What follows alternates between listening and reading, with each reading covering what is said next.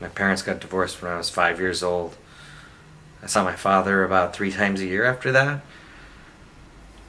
When he found out he had cancer, he brought me here.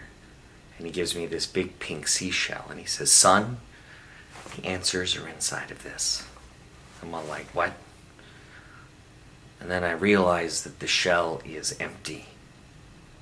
There's no point to any of this. It's all a random lottery of meaningless tragedy in a series of near escapes. So I take pleasure in the details. A quarter pounder with cheese. Those are pretty good. The sky about 10 minutes before it rains a moment when your laughter becomes a cackle.